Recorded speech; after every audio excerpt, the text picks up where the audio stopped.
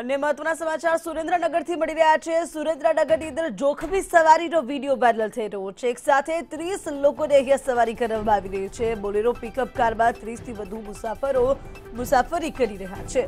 Mask અને સલામતી વગર જ અહીંયા મુસાફરી કરવામાં આવી રહી છે. વીડિયો વાયરલ થતા તંત્રની ટીકા થઈ રહી છે. શહેરના ઓવરબ્રિજ ઉપરનો આ વીડિયો છે.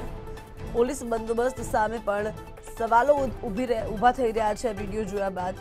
સુરેન્દ્રનગરમાં જોખમરૂપ સવારીનો વીડિયો.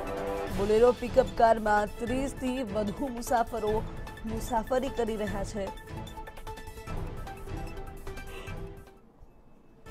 માસ્ક અને સલામતી વગર જ અહીંયા મુસાફરો મુસાફરી કરી રહ્યા છે. આપ જોઈ રહ્યા છો ટીવી સ્ક્રીન પર એ દ્રશ્યો કે કઈ રીતે અહીંયા ત્રીસથી વધારે મુસાફરો છે અને આ જે બોલેરો પિકઅપ કાર છે કે જેના અકસ્માત થવાની પૂરેપૂરી સંભાવના છે કે એક સાથે ત્રીસ મુસાફરો સવાર છે, બીજી બાજુ કોરોના કાર છે અને તેમાં એક જે પિકઅપ કાર હોય તેની અંદર ત્રીસ લોકોને એકસાથે બેસાડવામાં આવી રહ્યા છે. સુરેન્દ્રનગરનો આ વીડિયો છે અને અહીંયા કોઈ મુસાફરે માસ્ક પણ નથી પહેર્યા. સલામતી વગર અહીંયા મુસાફરી કરવામાં આવી રહી છે.